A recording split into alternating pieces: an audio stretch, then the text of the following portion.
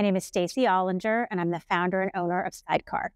So basically, um, I am a consumer, and I wanted uh, to take my hat with me everywhere from travel to lunch, and I wanted to wear it my way. And I wanted something that was going to be beautiful uh, on its own, as well as carry my hat the way I wanted it to. I thought I'd solve that problem. So this product is called Sidecar, and basically it is a 14 karat gold plated clip that's patented in design and for hat safety, and it will um, enable you to take your hat with you several different ways and styles.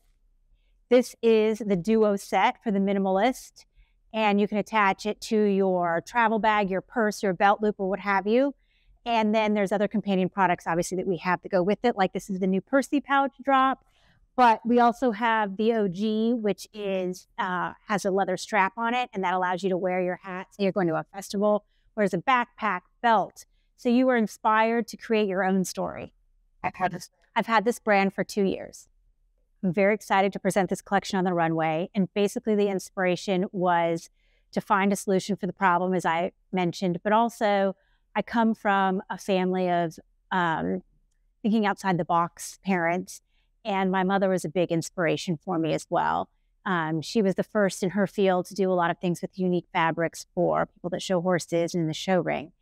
Um, so that kind of stayed with me. Quality matters, all of that. So I really wanted to um, bring that vision to life, keep with the integrity of what uh, Sidecar represents, but also for the brand.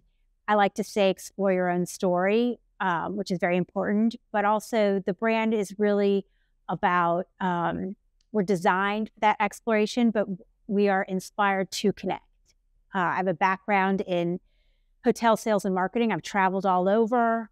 And basically, I feel that if this allows someone to travel easily, go out there and explore and connect with other people, that would make for a kind of kinder world um, and understanding. And I really uh, align with that kind of thinking.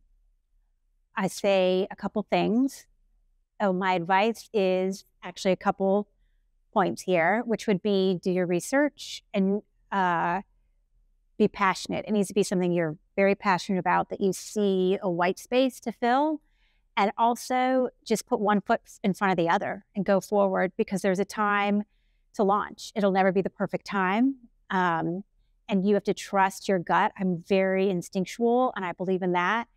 And one foot in front of the other and um, be humble and be kind. There's no reason to be mean in business at all.